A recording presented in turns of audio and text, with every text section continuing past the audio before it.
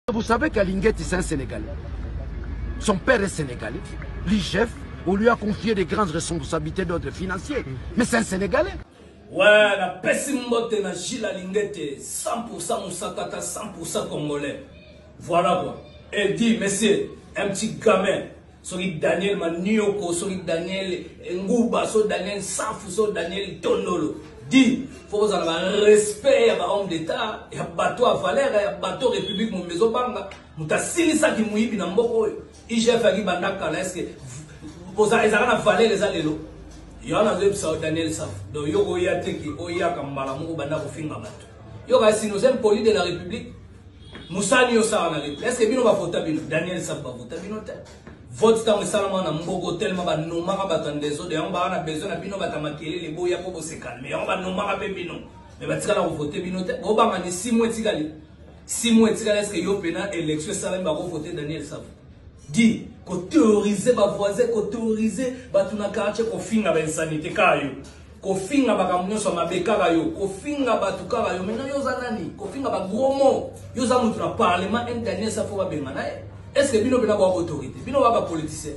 Na ba loka pele yo. Ofinga Moïse Katumbi. Hein? Oyo lelo okoma kokumisa kolanda banda kosenga mbongo, finga illettré atanga te. Lelo okoma kolanda ye. Avion tout le temps Lubumbashi kosenga mbongo. Jeune ayo eza ofinga bato mpo na nzala bapesa mbongo. Ofinga